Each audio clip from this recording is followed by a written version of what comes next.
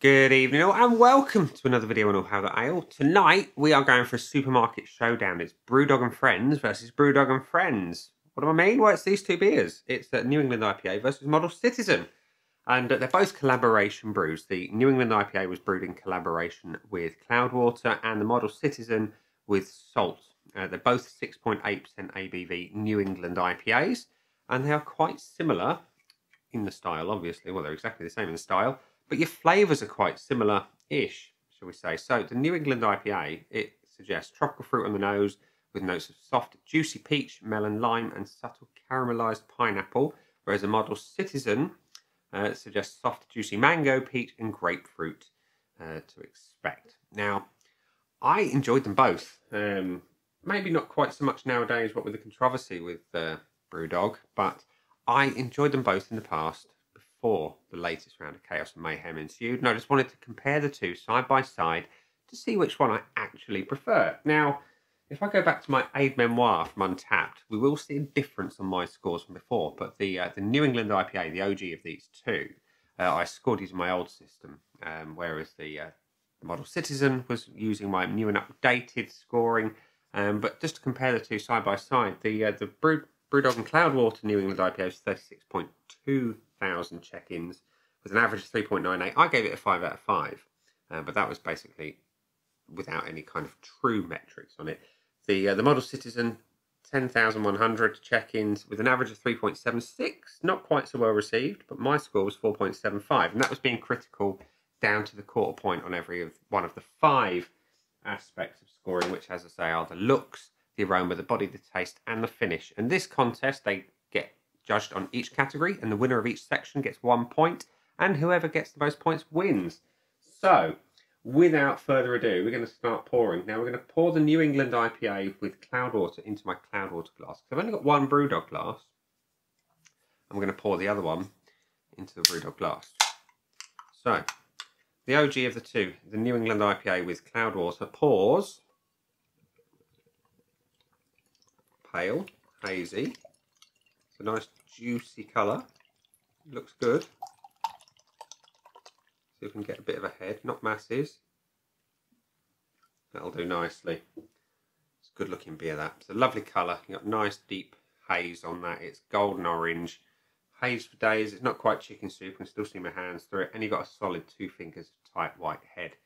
Beer in a glass. And that's the New England IPA with Cloudwater. The Model Citizen is going to go into Brewdog glass. Now I know the different styles of glass, but we do what we can do. So the pour on this one is, again it's hazy, maybe not quite so hazy, I don't know. Let's get them side by side in a second. Let's see what we get. So, okay. Appearance wise, it's not masses in it, you know, similar levels of haze. The collaboration with salt is clearly a little darker, uh, more colour to it. Head is similar. I'd say the Cloudwater collaboration is ever so slightly tighter. But which one do I prefer the look of? I always tend to err on the side of colour. I'll be honest. I prefer the slightly darker one. So the uh, the point on the looks goes to the Model Citizen.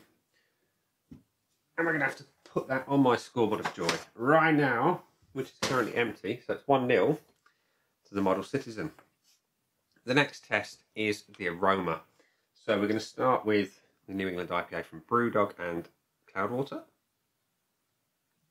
Yeah, it's lovely that is. It's it's peachy, it's pineappley, it's mangoey, there's a little bit of zest coming through. It, it's great. It smells delicious. It does promise uh, the lime. Yeah, that's, that's where the zestiness. I'm not getting the melon but mostly the peach, pineapple and lime. Yeah, those are the dominant flavours and mango. So that smells really, really good. As for the Model Citizen, let's have a whiff of that one. It's nice, but it's not as strong. Let's have a... Yeah, there's pineapple. There is there is a warm kind of citrus to it. But it's just nowhere near as strong as the New England IPA in collaboration with Cloudwater. So the point on this one goes to the New England IPA. And we come to the body test. So on a New England, they've obviously got to be heavy enough, juicy, chewy, and full. As for this one, it is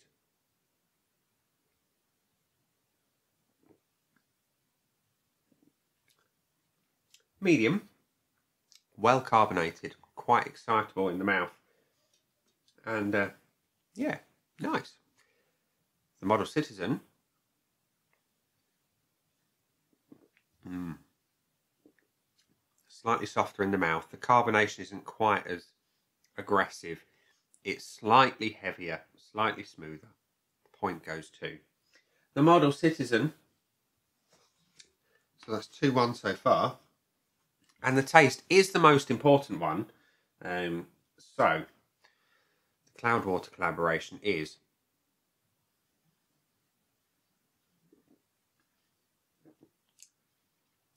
slightly bitter, slightly underripe pineapple, mango. All the stone fruits are slightly underripe and sharp. A little bit dry. And ah, there comes the melon on the back end. There it does.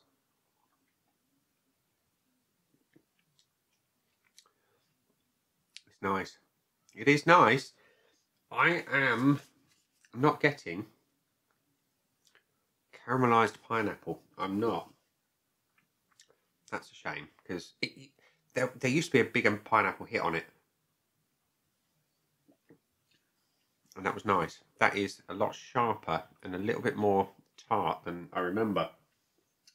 As for the Model Citizen,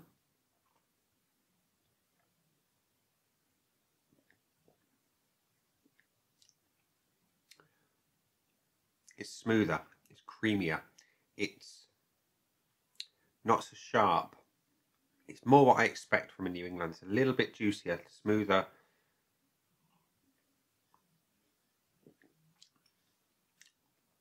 I'm getting stone fruit. I'm getting hints of mango and pineapple. It's not as strong a flavour as a New England IPA, but it's more balanced. The malts are there. They come through.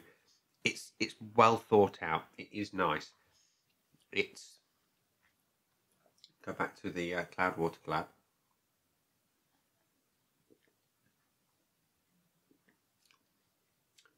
Yeah, it's not as resinous as the Cloudwater. Now, I love pine resin as a flavour. I love the big, brutal hops. The New England IPA from the Salt collaboration is smoother, whereas New England from Brewdog and Cloudwater is a little bit more punchy it really depends on what day you get me on as which I'm going to prefer. I love them both.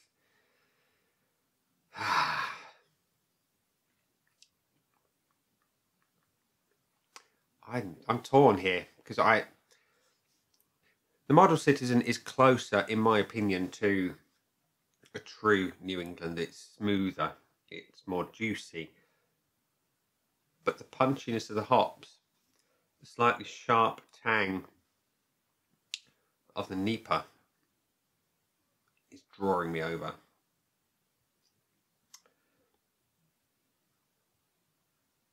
I'm going to sit on the fence for that one for a minute because it's close. It's very close. So we're going to go for the finish. Now this is normally the end of the scoring and it would determine the winner, but because it's so close on the taste test, we're going to come back to that. So we're going to start with the finish of the New England IPA from the Cloudwater collaboration Now in New England, I expect to be hoppy, juicy, sweet, and long. This one, it's hoppy. It's very hoppy. It's juicy, but it's underripe juice, and therefore it's got a little bit more bitterness on the back end. Now, I love bitterness in a beer, and this one is kind of fair to middling on the bitterness. New England's we don't expect to be massively bitter, but there we are. Whereas the Model Citizen It's got a super smooth delivery of the flavour straight up. And it's a sweeter, juicier,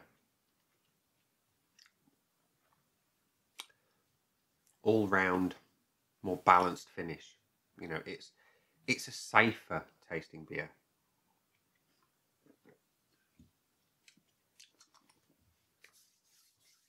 Mmm. I've got to be honest, the Model Citizen is more authentic.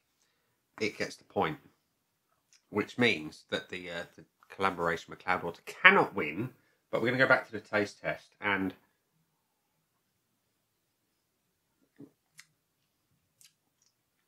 Do I prefer bitterness and sharpness versus smooth, juicy delivery?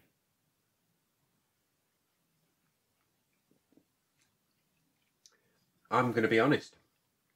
I'm going to give the point today to the Model Citizen because it's it's more more in keeping, shall we say, which means the Model Citizen wins 4-1 over the New England IPA, which I must admit I did not expect. Um, now this could be a batch difference because um, I remember the NEIPA from the Brewdog and Cloudwater collaboration being a lot smoother, not quite as tart as it is now.